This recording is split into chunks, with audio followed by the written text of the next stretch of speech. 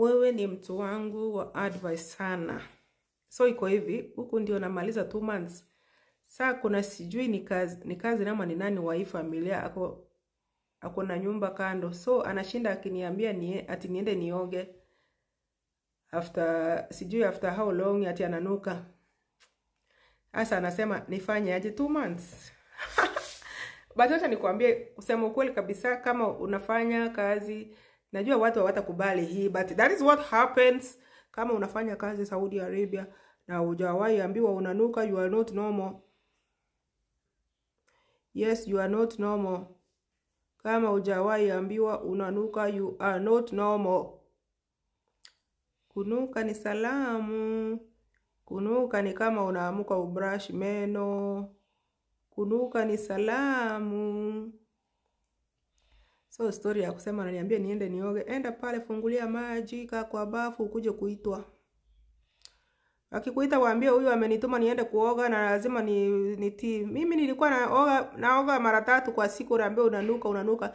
Ninaenda huko kwa bafu na kaa siogi, naachilia maji na mwagika kwa kwa kwa shawa. Ni, siogi naenda nakaa hapo kando. Nakaa hapo kando, ninaitwa, mlango inagongwa, ndio nafungua. Kama sijaoga, anasema mm, now smelling good, smelling good. Kumaanisha hawajui kama hawajui kitu wanasema. Mtu mwenye anakuambia uende uoge, yeye ndiye ananuka because hao watu ni hawaongi. Mtu anakaa wiki mzima marashi tena anashinda, wewe unaenda unaona, unaoga on their behalf. Hiyo sio kitu inakushtua. Unakula, unalipwa. What else? Ati unaambia unanuka. Yeah, Siambia unanuka, inu, inua mikono juu, hiyo harufu itoke chini ya makwapa vizuri. But sometimes nakwambia unaweza fua hata nguo juu, yani wako na hiyo mentality, wanasema unanuka, waseme mpaka umefanya nguo zao zimenuka. Unaweza fua nguo, upige pasi zote zirudishe kwa washing machine, uambie uoshe hizo nguo vizuri na uhakikishe umeoga ndio uoshe. Are you there? So unajua hii advice itakupea nguvu. Two months wewe ni mgeni bado hujanuka, umebakisha 22 months ya kunuka alafu itakuwa part of you. Na niliambia watu wa program mind yao, hizi mashida ma challenges unapata, program your, program your mind. Kuna shida zingine, challenges zingine zinakuwa part of your life. You just accept like yes they have said and that is how it is and it will remain to be like that, na hakuna kitu itabadilika. Bora mtu asiseme unanuka sikupi chakula, unanuka sikulipi. Mhm. Basi kama nakulipa pesa yako, hauna tatizo lolote, kubali unanuka. Uh, kwa maindi yako akikwambia unanuka, mwambie kwa maindi yako, sio ati ufungue mdomo, mwambie wewe ndio unanuka zaidi. Wacha mimi niende nioga on your behalf. By the hizi vitu zinataka you develop a thick skin. Ukikuwa na thin skin, utaanza kulia kwa inbox yangu kila siku ukisema, Lucky Mom, sasa mimi siwezi fanya kazi. Lucky Mom, kila saa wanasema mimi nanuka. Lucky Mom, yeye. You don't need to be worried. Hizo ni salamu zao, na mwenye anakuambia unanuka, yeye ndiye ananuka zaidi. Uh, you don't need to fear. Kama unafanya kazi Gulf ama Saudi Arabia na hujaiambiwa unanuka, you are not normal.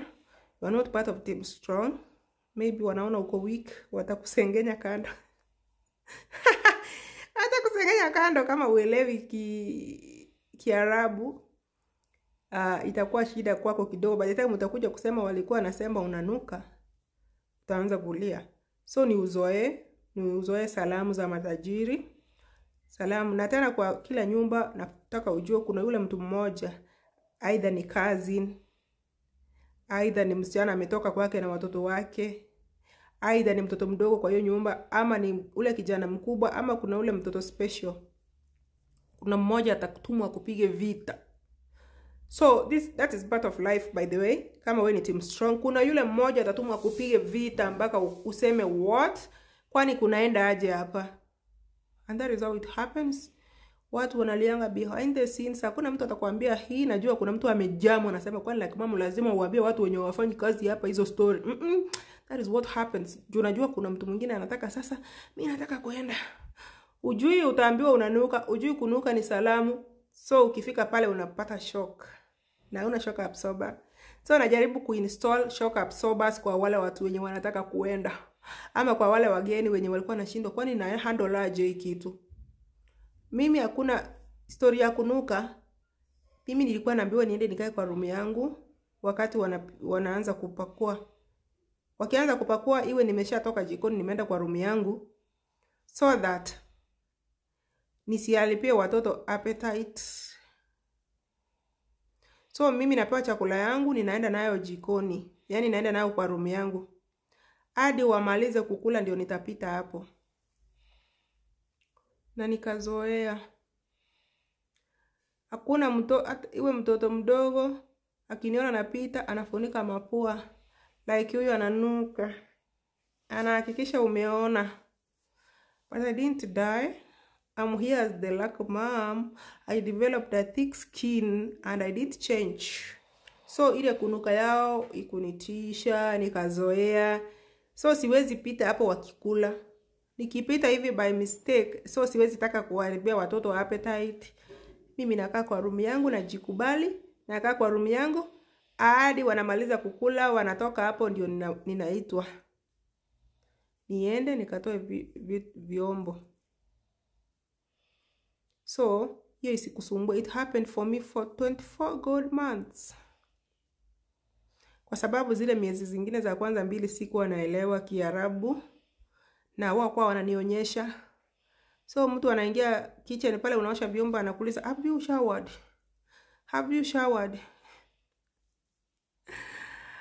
Ah! we went through hell, but Mungu ni nani? That is why I decided to come out openly na nitie watu nguvu. Najua hii advice itakusaidia. Si umesema mimi ni mtu wako wa advice, itakujenga. Thank you.